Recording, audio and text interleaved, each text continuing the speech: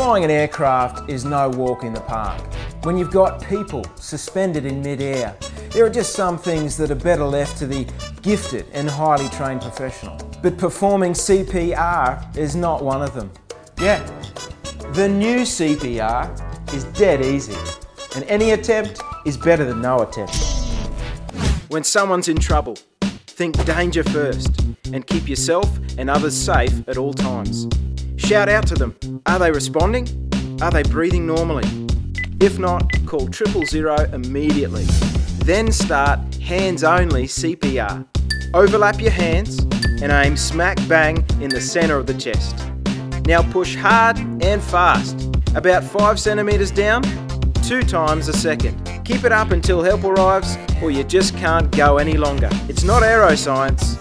If someone's not responding or breathing normally, call triple zero and push hard and fast in the centre of the chest.